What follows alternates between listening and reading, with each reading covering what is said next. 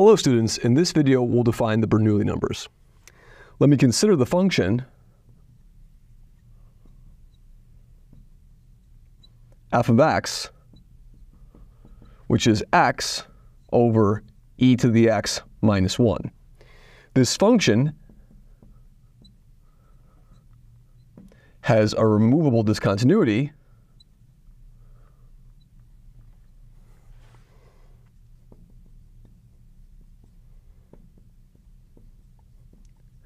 at x equals 0.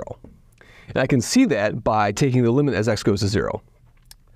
The limit as x goes to 0 of x over e to the x minus 1, well, I have 0 over 0, so we can use L'Hopital's rule. By L'Hopital's rule, this is the limit as x goes to 0 of 1 over e to the x by L'Hopital's rule, and that will just give me a 1. So this function is equal to 1 at 0. So I can write down its Taylor expansion at x equals 0. So its Taylor expansion, f of x, which is x over e to the x minus 1, is the sum, n goes from 0 to infinity, of some numbers bn, x to the n, over n factorial, and these numbers bn are called the Bernoulli numbers.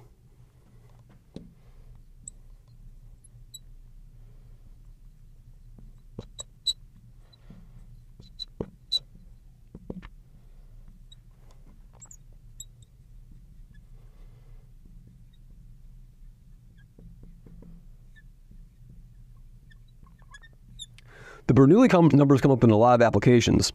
One famous application is the following. It states that the sum, n, k goes from 1 to infinity, of 1 over k to the 2n, is negative 1 to the n plus 1, 2 pi to the 2n, Bernoulli 2n, over 2 times 2n factorial. In other words, the Bernoulli numbers arise in the study of this is the Riemann zeta function over here at 2n. So the Riemann zeta function and the Bernoulli numbers are intimately connected. Okay? Excellent. And so now what I'm going to do is I'm going to try to find some formulas for these Bernoulli numbers. I'm going to do so by multiplying this expression over here by e to the x minus 1. If we do so, we're going to have the sum, n goes from 0 to infinity, of bn x to the n over n factorial times the Taylor series for e to the x, which is the sum n goes from 0 to infinity of x to the n over n factorial.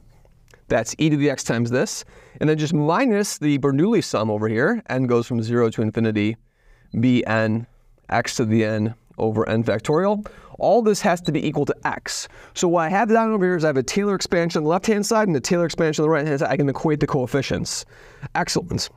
So what I'm going to do over here is I'm going to use the Cauchy product formula. So right over here, we're going to use a Cauchy product. This is a Cauchy product.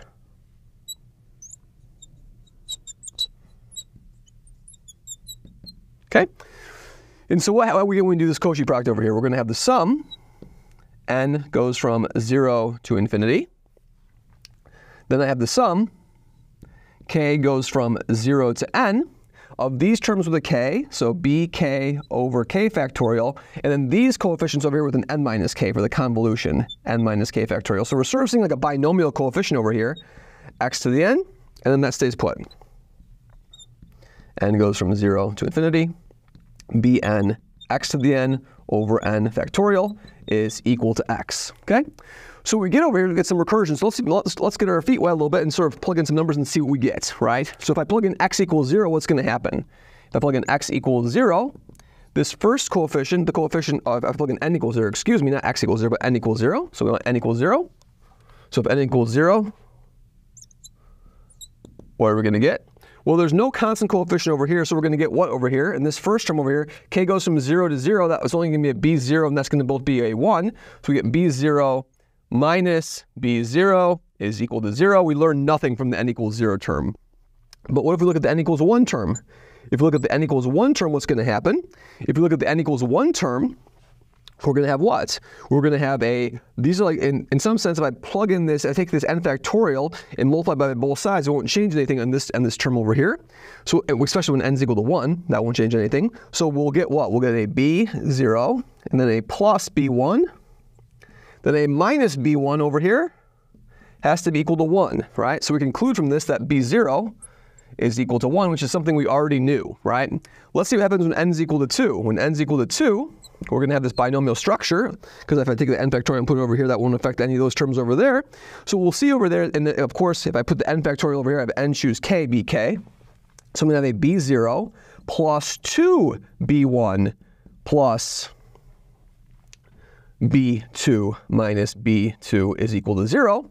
Those b2's cancel out. This is a 1. This is a 1 half b1 is equal to 0. So that says that b1, the, fir the first Bernoulli number, is negative 1 half.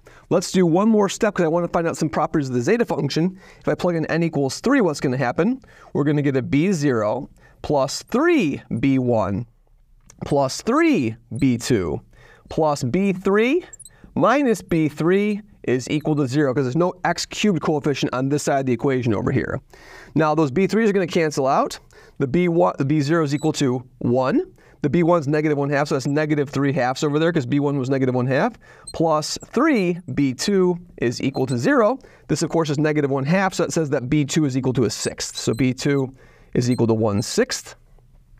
And so if I use this, this fact, which we'll prove in further videos when we learn some properties of the Fourier series and the uh, Parseval theorem in Poisson summation, is we'll be able to deduce what? We'll be able to deduce that when I plug in n equals 1 to this formula, we'll be able to conclude that zeta of 2, which is the sum, n goes from 1 to infinity of 1 over n squared, is equal to what? Negative 1 to the 1 plus 1, that's a negative 1 to the 2, that's a 1. This is going to be a 2 pi to the, when n is equal to 1, 2, so that's going to be a 4 pi squared, 4 pi squared, times the, when n is equal to 1, I get b2, so that's going to be times a 1 sixth. And then I have a 2 times a 2 factorial, that's a 2 times 2, so let's cancel out over there with that 4. And so we get that zeta of 2 over here is pi squared over 6. So by finding the Bernoulli numbers, we were able to compute, using some complex variables in a, in a future video, that zeta of 2 is pi squared over 6. Thank you very much.